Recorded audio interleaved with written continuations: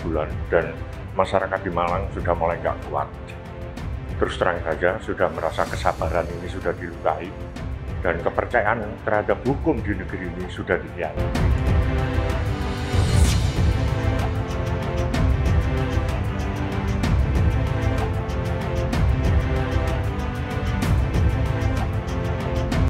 harus diakselerasinya, diakselerasi seperti tuntutan teman-teman di lapangan seperti apa, sehingga nanti nyambung antara harapan dari para korban, langkah-langkah hukum yang telah dilakukan oleh eh, teman-teman kita di aparat penegak hukum.